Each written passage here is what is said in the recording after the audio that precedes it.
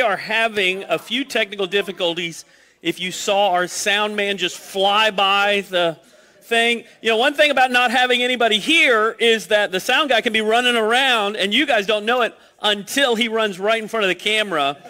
It was the funniest thing. So I'm watching, I try to watch the video and respond to people. So David's in a very, you know, it's a worshipful song, Holy Spirit, you're welcome here. And people, are you just feel people entering in, and then the sound guy just just he just he just penguins right across the screen. Just whoop.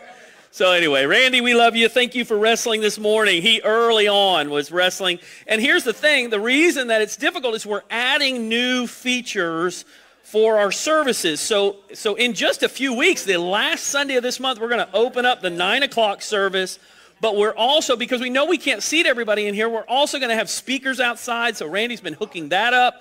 We have audio capability for cars in the parking lot. So if you pulled in next Sunday in the parking lot, you could sit there and listen to us live. By the way, anytime you're watching, if you want to come by after the service and say hi, uh, we're out there not long after the service ends, and you can say hi just, just six feet, six feet. Stay away, right? And uh, but anyway, we're uh, going through a series that we got years ago from this book by Max Lucado called "You'll Get Through This." And so I like to start with reading the little quote from his book. People said this is so powerful to them, and it says this You'll get through this. It won't be painless, it won't be quick, but God will use this mess for good. Don't be foolish or naive, but don't despair either.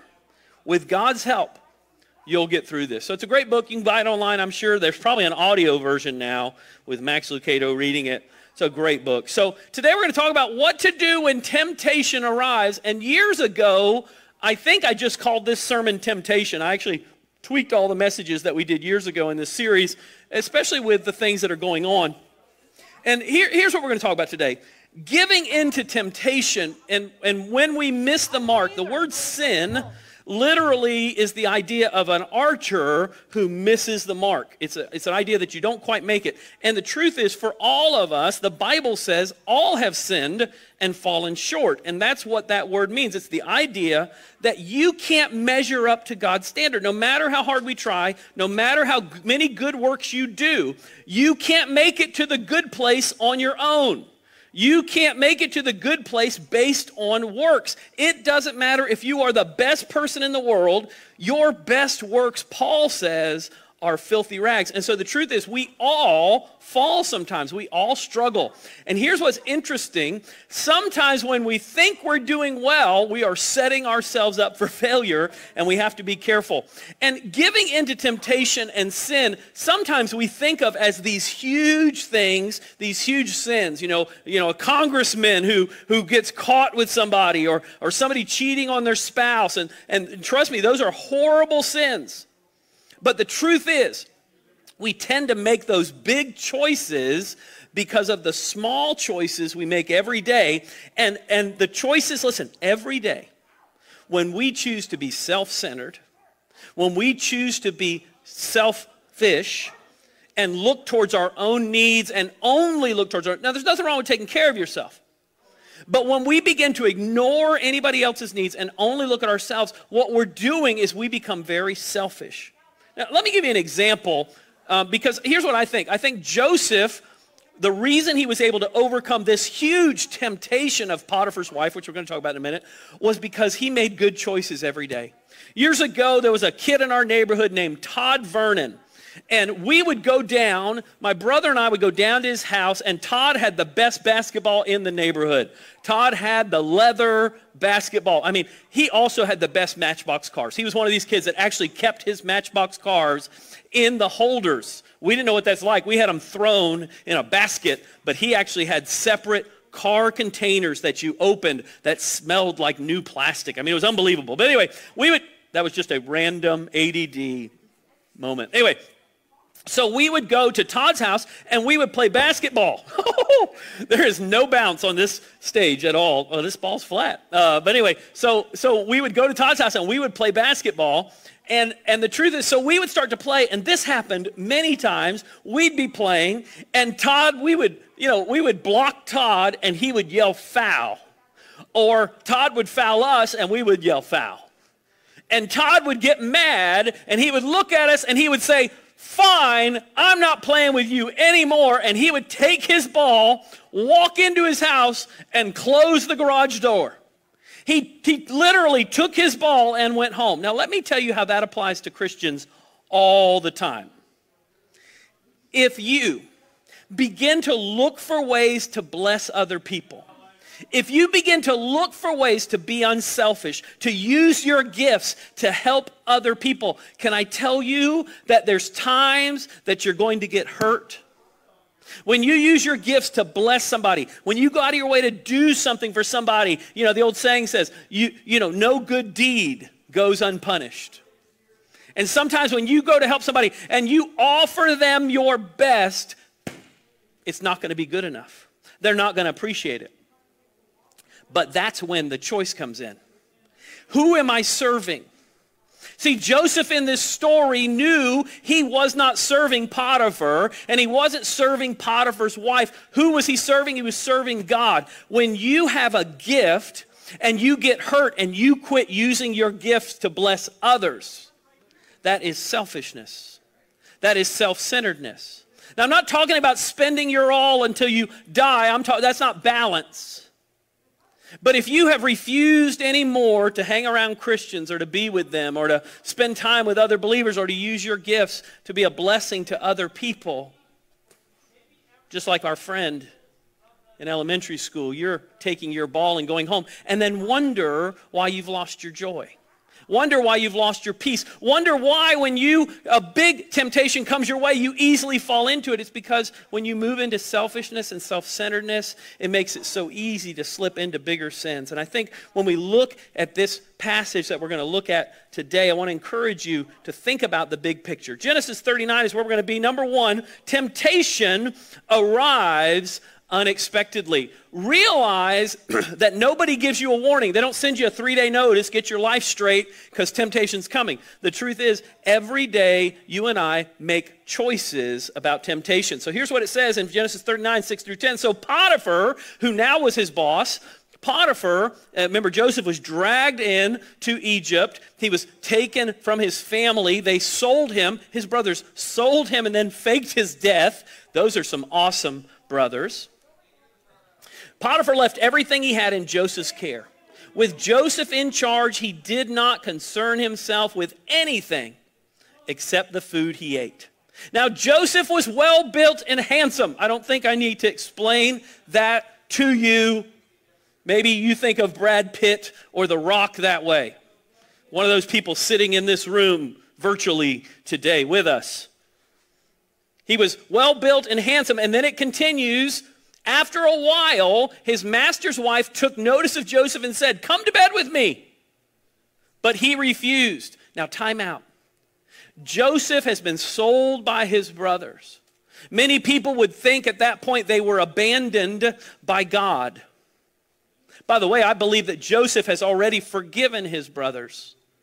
Because what I know about unforgiveness is when you can't forgive somebody, you tend to focus on that, and you would never be in charge of a household.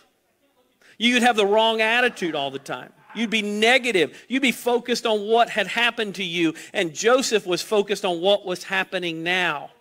So when Potiphar's wife tempted him, listen to what he says With me in charge, my master doesn't concern himself with anything in the house. Everything he owns, he has entrusted to my care. By the way, Joseph didn't know it, but he was being prepared for his future job. No one is greater in this house than I am. My master has withheld nothing from me except you, because you're his wife. How then could I do such a wicked thing and listen to who he knows he's working for and sin against God? How can I do such a wicked thing and sin against God? And though she spoke to Joseph day after day, the continuation of temptation just kept coming and coming. He refused to go to bed with her or even be with her. Why? Because he knew who he really worked for. So he was ready for the temptation. See, when we begin to focus on pleasure, when we begin to focus on our own needs all the time. Now listen, you've got to eat. You've got to sleep. You've got to have balance. But we are stewards of what God's given us. We work for Him. And so we need to look at our lives and say, God, my life is yours. What do you want me to do? And when we have that attitude, we tend to make better choices. I'm not saying we will never fall. I'm not saying we will never fail. But Joseph could stand in temptation because he knew when the suddenly came, he knew who God was. I, I want to read some suddenlies in life that have happened. Here's some actual insurance claim statements from people. The car in front hit the pedestrian, but he got up. So I hit him again. The other car collided with mine without giving me warning of its intention. I collided with a stationary truck coming the other way. A pedestrian hit me and I and went under my car. The guy was all over the road. I had to swerve a number of times before I hit him. The pedestrian had no idea which way to run as I ran him over. I saw a slow moving, sad faced old gentleman as he bounced off the roof of my car. The accident was caused by me waving to the man I hit last week. When I saw I could not avoid a collision, I stepped on the gas and crashed into the other car. And then, last but not least, the pedestrian ran for the pavement, but I got him. These are actual insurance statements. Listen, nobody plans a car accident. Nobody plans on something coming at you. Temptation is the same way. You don't plan on it happening, but all of a sudden you're tempted and you don't expect it. Listen to this verse in 1 Peter 5, 8, and 9. Be alert and of sober mind. That literally means be awake. Wake up, pay attention. Your enemy, the devil, prowls around like a roaring lion looking for someone to devour. He's looking who's weak, who's hurting. A lion will grab the weakest thing first. He's looking. If you're struggling, by the way, also if you're serving God, that's somebody he'll attack. If you don't do anything, yeah, he's going to leave you alone. Maybe you're not under pressure because you're not doing anything. Resist him. And then it says, standing firm in the faith because you know the family of believers throughout the world is undergoing the same kind of sufferings. I just saw that Twyla's watching. It's good to have you watching, Twyla. Can't wait till we can see your face again here. So when it says here, standing firm in the faith, it's this idea of what is your foundation? Is your foundation built on God's word and on a relationship with God, or is it just whatever comes to you, whatever you feel like? And if we're all honest, most of our life is built just on the habits we have, the things that we do, and we just do what we've always done, but we're not alert. When's the last time you really thought about your schedule? When's the last time, as you went through your day, you said, God, help me to pay attention to other people, to be a blessing everywhere I go? See, we think about ourselves an awful lot and our own perspectives and our own ways of looking at things, but Joseph looked at life through the filter of what does God want me to do? You know, Tim Tebow had it right. What would Jesus do, right? He wasn't the only one that said that. He was not the first one to say that. But the truth is for us, what would Jesus do if he was where you were at today? Who would he call and encourage? Who would he go out of his way to send an email to? Who would he text? Who would he maybe even write? You ready for this? Maybe even write a handwritten letter to. I got to be a part of a group that wrote handwritten letters to go to nursing homes a couple of weeks ago. Handwritten. If you've seen my writing, you know it's probably not a good idea. So here's what I want you to do first remind yourself who you serve. If you're struggling with temptation, remind yourself of who you serve. And I'd be honest with you, we need to do that every day because the truth is, there's a tendency for all of us to get frustrated and hang on to our stuff. Hang on to the way we've always done things, our attitudes, our actions. Look for pleasure, avoid pain, and say, God, I'm just going to do what makes me feel good. And God says, No, no, no. I want you to serve others. I want you to bless others. That selfishness, that self centeredness, I believe so often is what leads us into deeper temptation. We didn't just fall the one time, we began a process of selfishness and self centeredness. So temptation arrives unexpectedly. Number two, sin will whisper no fear and then yells failure. I love this part of the story because in this part of the story, she's like, It's no big deal. Come on, it's no big deal. Come on. And then she loudly accuses him of what he didn't do. Now, would she have done that anyway? Maybe. She, she might have wanted to, to get him in bed and then yell about it and get rid of him. By the way, most theologians think that Potiphar didn't really believe her. We're going to see in the story in a minute. Potiphar put him in jail. Potiphar could have had him killed if he really believed what she said. And so I think he was torn. I remember years ago, I was sitting in a large assembly in junior high. And the guy asked this question. This will tell you how long ago it was. He said, Who do you think killed JR? And now in junior high, nobody yells out except for an ADD person. Now you have to realize I had just come from a class with a, a teacher named Mr. Houston. His name was spelled almost like Houston, but his name was Houston. And in his class, on his wall, he had posters everywhere of J.R. Ewing. So as an ADD kid, I yelled out, Mr. Houston, Thankfully, the guy on stage did not hear me. I instantly realized everyone else was quiet, and I just yelled out like a dork. So I thought, okay, I got away with it. I got away with blurting. But then the speaker looked at me and said, What did you just say? And I said, No, no, no, it's okay. No, no, no, what did you just say? No, no, no, no, it's okay.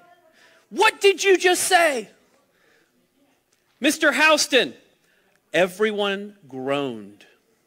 My teacher came over and got me and said, That's not funny. Come sit with me. The guy just kind of rolled his eyes. I remember sitting there, and all of a sudden, all I could hear was, Failure! Idiot! What have you done? Listen, when you're tempted, just like I was tempted to yell out something I thought was funny, I still think it's pretty funny. Nobody else did. It's like your jokes, Dave. Thank you. Thank you very much. Thank you very much. Dave, I love your jokes. By the way, somebody said if Brian wasn't here today, we would be riceless. Okay? So that was online. That was very good. So, so but here's the deal. Have you ever been there where you did something dumb and you didn't think it was going to be a big deal and then suddenly it was like, oh, that was the dumbest thing you ever did? And it could be something simple. It could be that you go on a diet and you decide, I'm not going to eat any more cookies. And then your brain says, the cookie's no big deal. One cookie won't hurt. One cookie won't hurt. One cookie won't hurt. And then you eat a sleeve of cookies. And then for the next three days, all you hear is, You're such an idiot. You have no willpower. All the things the enemy does. Listen to this. One day, Joseph went to the house, Genesis 39 11 to attend his duties, and none of the household servants was inside. She caught him by his cloak and said, Come to bed with me. But he left his cloak. By the way, he was trying to avoid her the whole time. It says that there.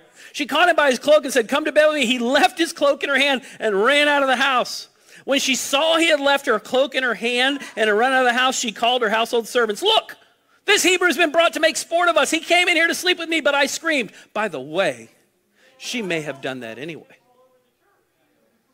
There was no pregnancy test back then. So she may have just said, oh, he, he, he, he did that. I didn't want him to do that. I mean, he could have just as easily. And this is exactly what sin does. This temptation is not a big deal. Give in. Give in to that little indiscretion. Watch that show. Hang out with that person. Oh, it doesn't matter if you're married and go eat alone with a woman in a restaurant and talk about your spouse. Oh boy. But the next thing you know, by the way, I've heard that story over and over and over again. It's one of the easiest temptations to get into because it seems like a good thing, but there's something in our heart that knows, you know, I probably shouldn't be spending time with somebody from the opposite sex alone when I'm married talking about my spouse. That happens over and over and over. Rodney said, uh, I talked to Rodney a few years ago, and he was telling me about his dad and how his dad used to go to AA, and they had a saying in AA that the times you had to be careful of. And you had to be careful when, and he said it spells halt, H A L T. Here's times you need to be careful of. When you're hungry, the Snickers commercial is accurate. When you are hungry, you tend to make bad decisions. By the way, they've done studies that many people get in fights, families get in fights right before dinner time. If you think about it, a lot of that has to do with not just mental, not just actual thing, but it has to do with physical, how we're feeling. We're hungry, our blood sugar's low, we're grumpy. And so we fight right then. And then when you're angry, if you're struggling with anger, that goes back to unforgiveness. Joseph, I believe, forgave his brothers. That's the reason he could move forward. Angry people make bad decisions. Halt. H A L. When you're lonely. When you're lonely, you tend to give anything. And listen, a third of married people say that they feel totally alone. One third. So if you're alone, you're not alone. If you feel alone, you're not alone in feeling alone. People feel alone. That's not an excuse to give in. Be very careful when you feel alone. You tend to make bad decisions and you justify it by saying, I just needed an out. And then finally, when you're tired. When you're tired, you do dumb things. That's why my dad used to say to me, Now, Brookins, Eric, remember when you go out, nothing good happens after midnight. And as a teenager, can I tell you something? Nothing good happened after midnight. 1 Corinthians 10, 12 to 13 says this. So if you or think you are standing firm, listen to this.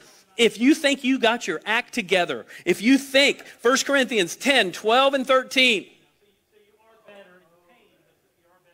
if you think you are standing firm, be careful that you do not fall. And then it says this No temptation has seized you, what is common to man. God is faithful. He won't let you be tempted beyond what you can bear, but when you're tempted, what do he do? He'll provide a way out so that you can stand up under it. Can I tell you the truth though? When it says provide a way out, it means a way to walk out. So you have to take responsibility for walking out of that temptation. You, you can't sit there with the cookies on the table going, God, give me discipline. Boy, those look good. Delicious. I'm glad those Girl Scouts came by. By the way, I know something about temptation. If you made a commitment today to not eat Girl Scouts cookies, when you get home, there'll be 12 Girl Scouts giving away Girl Scout cookies, whatever your favorite kind is. That's how temptation works. It seems like the very thing we're fighting is the very thing we're attacked by. So here's your second encouragement focus on the final outcome of temptation. Look at the big picture. Joseph looked at the big picture. He knew I work for God, and he knew the outcome of what would happen if he did that sin.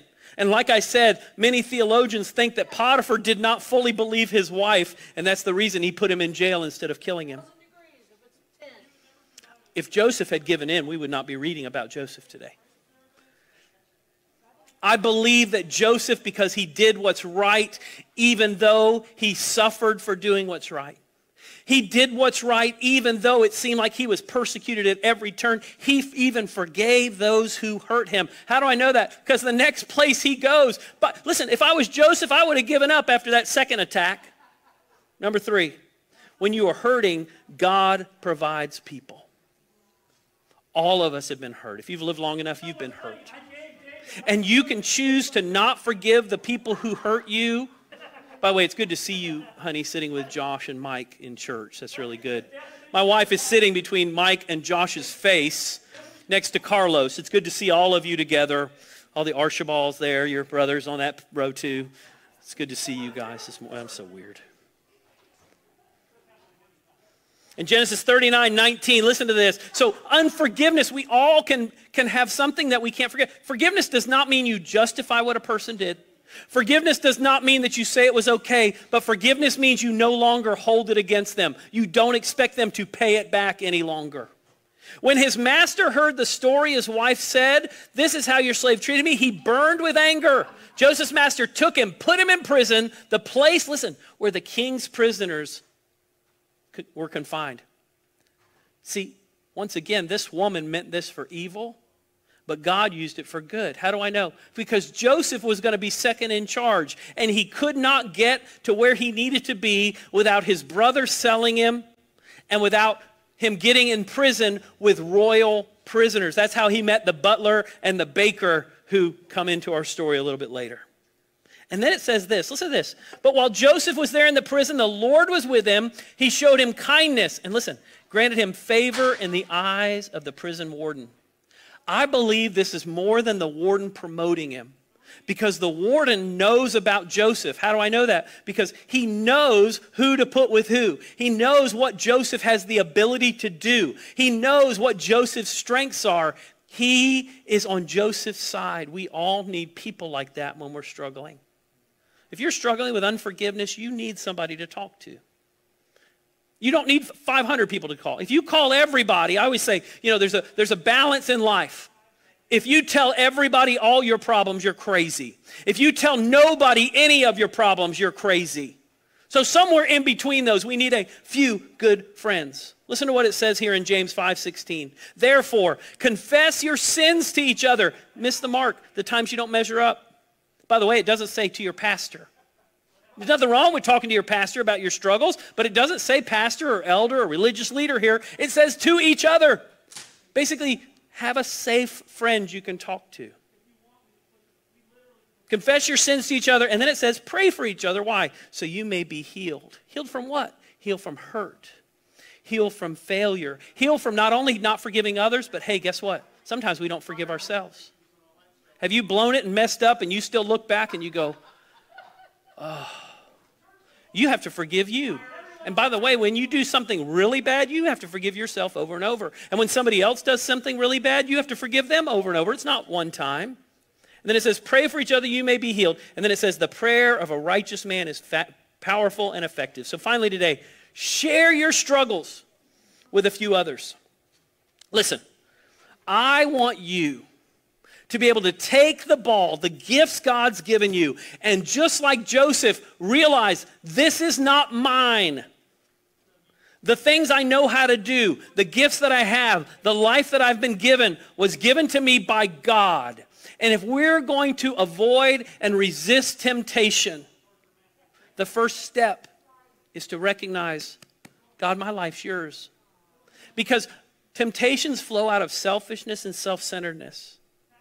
And when we say, God, just like Joseph, I serve you, it'll change our perspective, it'll change our future, it'll change your impact on other people.